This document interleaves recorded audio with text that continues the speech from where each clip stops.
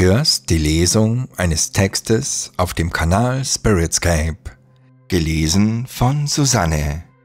Bitte überprüfe mit deiner Intuition den Schwingungsgehalt selbst. Die Freundschaft eurer geistigen Führer. Maria, gechannelt durch Pamela Krippe, übersetzt von Yvonne Moore.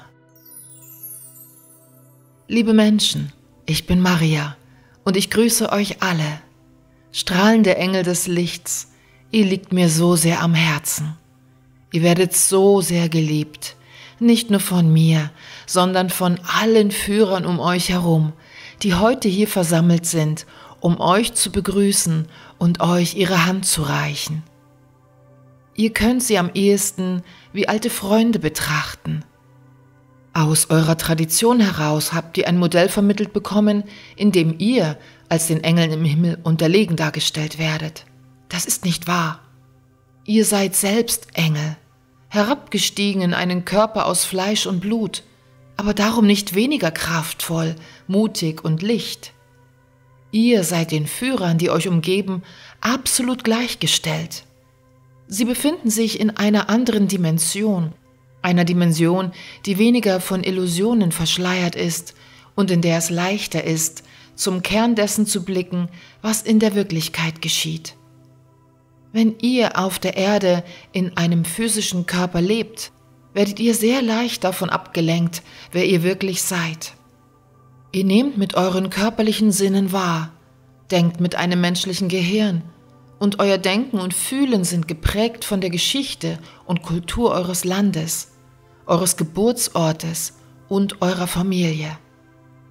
Und so werdet ihr als Kind gleichsam hineingeworfen in dieses Netz von Einflüssen, die zum Leben auf der Erde gehören, und nehmt sie ganz selbstverständlich in euch auf.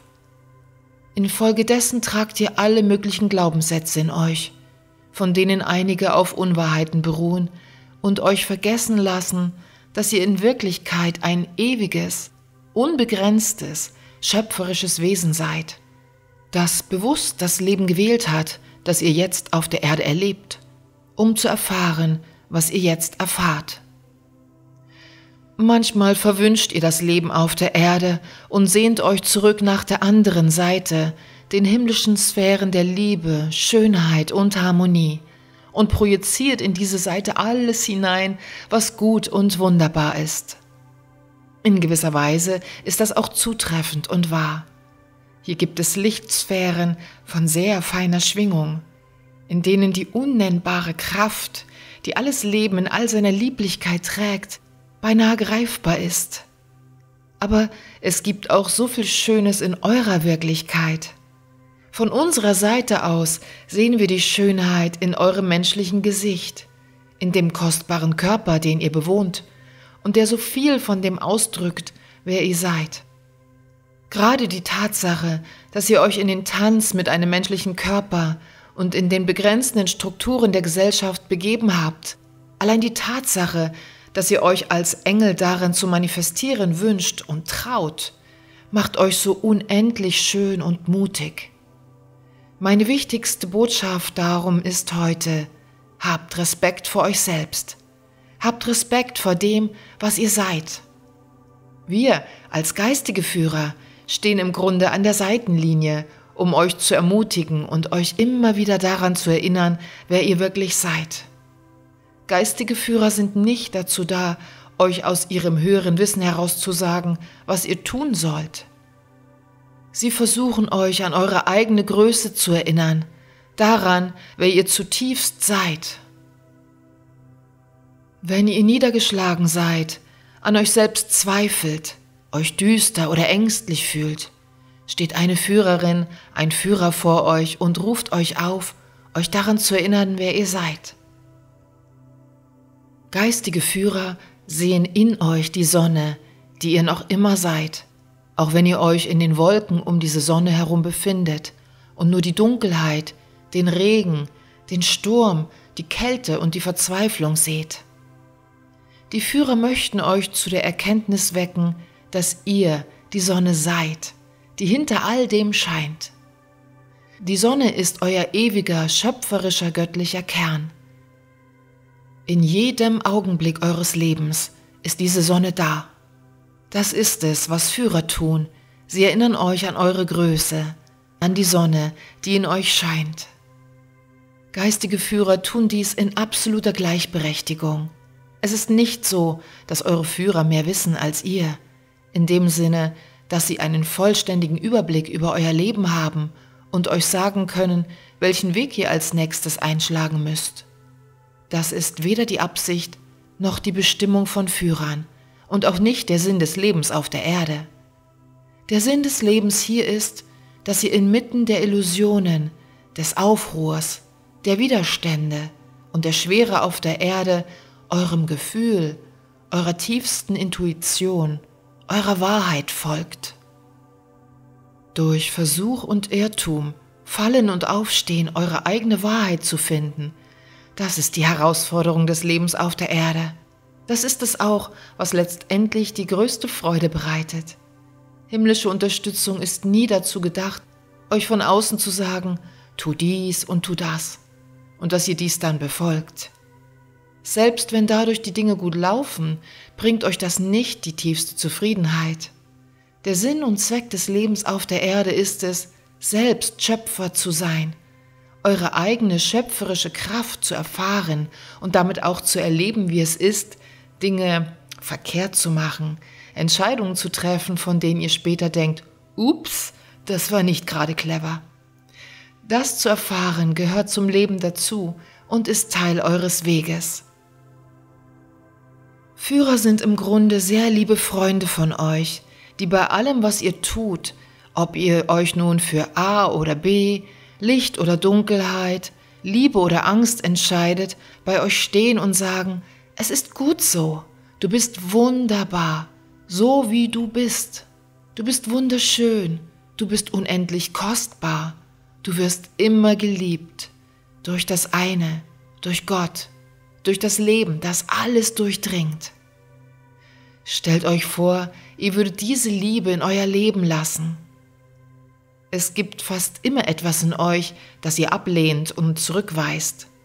Eine Angewohnheit oder Charaktereigenschaft, die ihr an euch selbst als unangenehm empfindet und um deretwillen ihr euch verurteilt.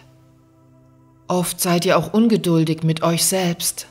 Zum Beispiel wisst ihr in eurem Inneren, was gut für euch ist oder was ihr tun würdet, wenn ihr keine Ängste und Zweifel hättet. Und ihr macht euch Vorwürfe, weil ihr euch trotzdem oft einfach ängstlich fühlt und euch bestimmte Dinge nicht zu tun traut. Oder ihr kritisiert euch selbst für andere negative Gefühle, von denen ihr zu wissen meint, dass sie nicht gut sind. Dann quält ihr euch selbst mit negativen Gedanken wie, dies mache ich falsch, das mache ich falsch, hätte ich es nur anders gemacht. Habe ich es denn immer noch nicht kapiert? Und so treibt ihr euch in eure eigene Dunkelheit hinein. Stellt euch einmal vor, dass dann jemand neben euch steht und sagt, äh, warte mal, sieh dir mal an, was du alles erreicht hast und wie sehr du dich bemühst. Und seht euch die Anteile von euch an, die durch unangenehme und schwierige Erfahrungen in eurem Leben verwundet und durcheinandergebracht worden sind. Habt Mitgefühl mit euch selbst. Legt euch einmal selbst die Hand auf die Schulter. Das ist es, was Führer tun. Sie öffnen einen Raum der Milde und des Nichturteilens, einen Raum, in dem ihr ganz und gar sein dürft, so wie ihr jetzt seid, und laden euch zugleich ein, dasselbe für euch zu tun, auch mit dem, was ihr eure negativen Aspekte nennt. Es ist in der Tat eure größte Falle auf der Erde, dass ihr euch selbst wegen eurer eigenen Negativität verurteilt. Schaut einmal in euch selbst hinein. Gibt es etwas, das ihr euch wegwünscht? Etwas, das ihr verurteilt und wünschtet, dass es anders wäre? Könnt ihr von ganzem Herzen zu euch selbst sagen, ich bin ein strahlender Engel des Lichtes. Ich bin schön. Ich tue mein Bestes ich bin gut. Spürt in euch selbst, ob etwas in euch stockt oder blockiert, wenn ihr das zu euch sagt. Ob da eine kleine Stimme ist, die sagt, ja, aber, das hätte ich anders machen sollen. Und dies ist auch nicht richtig. Stellt euch vor, es ist eine liebe Führerin, ein lieber Führer oder ein Freund bei euch, der euch lächelnd ansieht und fragt, urteilst du nicht zu hart über dich? Gibt es vielleicht einen Grund, warum dieser Aspekt, den du als negativ bezeichnest, bei dir ist? Das Lächeln auf dem Gesicht eures Führers deutet darauf hin, dass ihr das Problem eher mit Sanftheit als mit Härte, der Härte eures Urteils löst. Seht, ob ihr die Sanftheit empfangen könnt, die euer Führer, eure Führerin ausstrahlt. Und fühlt diese Sanftheit überall in dem Raum um euch herum, die so mild, offen und leicht ist. Es gibt von unserer Seite keine Wertung. Lasst auch selbst das Werten über euch los. Lasst eure Härte los und fühlt die Liebe, die hier und jetzt vorhanden ist. Wir wünschen euch, dass ihr mehr Freude auf der Erde erlebt. Und das könnt ihr in jedem Augenblick, indem ihr zu dem Ja sagt, was ihr jetzt seid. Und euch weniger Gedanken darüber macht, was in eurem Leben anders sein sollte. Stattdessen feiert, wer ihr seid, hier und jetzt. Ihr seid Teil der Ewigkeit. Ihr seid ein unendliches und großartiges Wesen, das gewählt hat, hier und jetzt auf der Erde zu sein und dieses Leben zu erleben. Allein die Tatsache, dass ihr dies gewagt habt, sollte euch glücklich und stolz machen. Probiert auch einmal zu lachen über das, was euch stört, über die Fehler, die ihr zu machen glaubt oder über die Fehltritte, die andere begehen. Versucht es mit Leichtigkeit und Unbeschwertheit zu betrachten, denn das Leben ist auch ein Spiel, ein Tanz, in dem jeder abwechselnd bestimmte Rollen spielt. Nehmt es alles nicht zu ernst. Lasst immer den Raum dafür, über all das zu lachen und es zu relativieren. Denn letztendlich seid ihr ewig, ein unveräußerlicher Teil von Gott. Ihr seid nur vorübergehend hier. Habt Respekt davor, wer ihr seid, hier und jetzt in dieser Form, in diesem menschlichen Dasein. Glaubt mir, wenn ich sage, dass ihr schön, liebevoll und reich seid, reich durch all das, was ihr durchlebt und erfahren habt. Um die Rolle und Bedeutung der Führer in eurem Leben zu verstehen, solltet ihr euch fragen, was ihr tun würdet, wenn ihr selbst ein Führer wärt. Stellt es euch einmal vor. Stellt euch vor, dass ihr selbst der geistige Führer eines Menschen auf der Erde seid.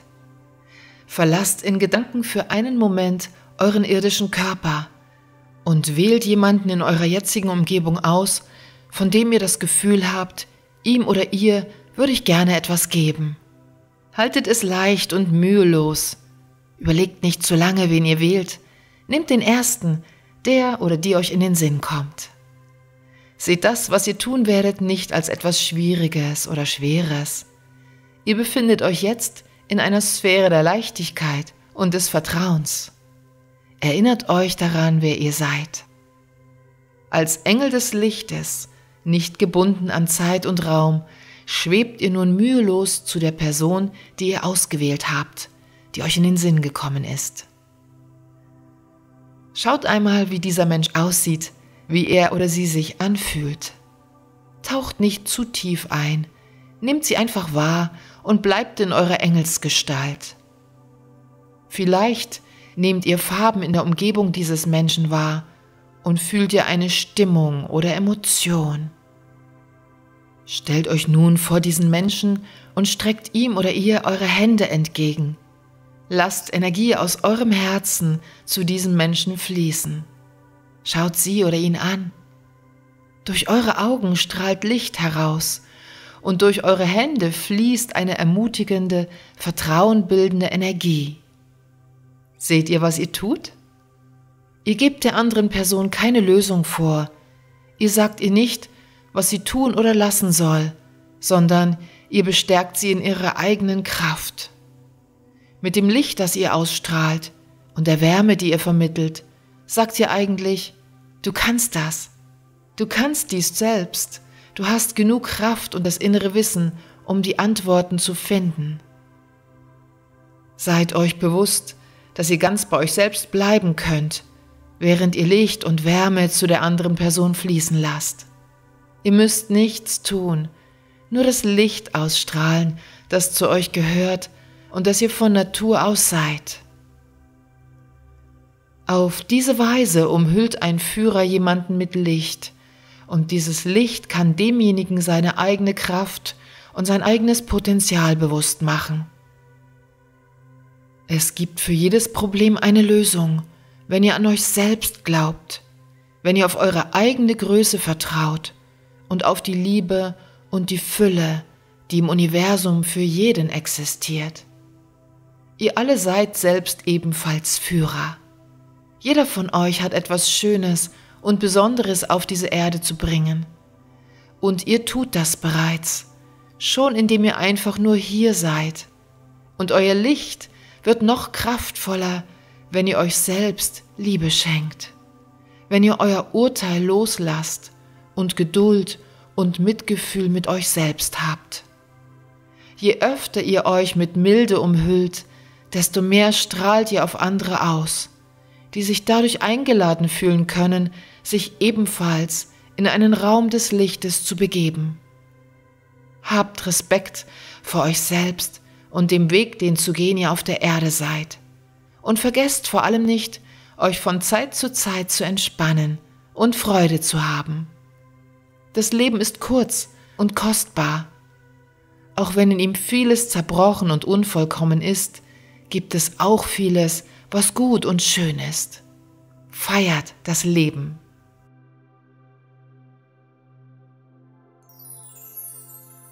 Vielen lieben Dank für eure Unterstützung von Spiritscape. Vielen Dank für deinen Energieausgleich.